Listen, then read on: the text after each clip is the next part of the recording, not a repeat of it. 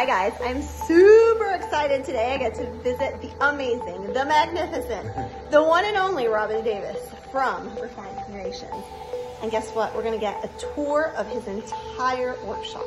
So we're here because they are creating one of the most spectacular pergolas for a commercial property for an amazing restaurant here in South Florida called Kapow.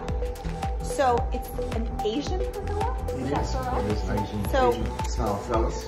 Asian style trellis. Let's find out what that is, what it entails, what would he use, and how he makes these amazing creations.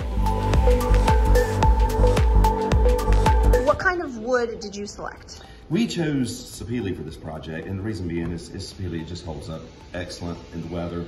It's, it's nice to work with. You can bend it if you need to bend something, um, and, and it's just it's what they used to make boats out of. So it's, it's something with this with the right product, with the right oil product on it, it's, it'll last for many years to come.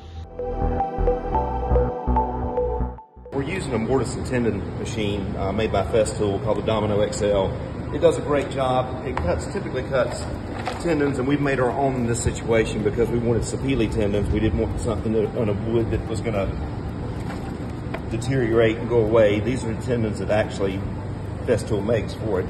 And what we've done, we've already cut slots in the base of this board, and we're going to cut other slots in the ends of this board.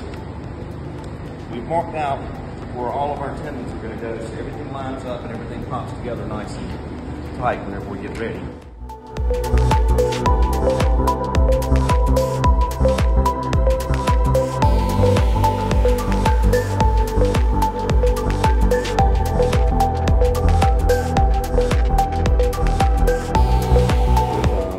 Rough sawn Sapele material, and it was all surfaced. We had wide panels glued up, and them, we kind of just kind of laid, overlaid, and stacked this thing out where it has some depth and perception to it. And we're still we've still got a, a top cap that will be applied in the field once this uh, everything is mounted, and uh, once we find the crane to pick it up now, we made it too heavy.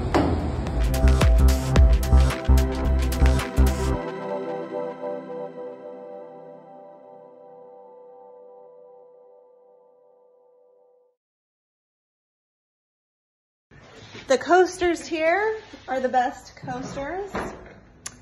Check this out.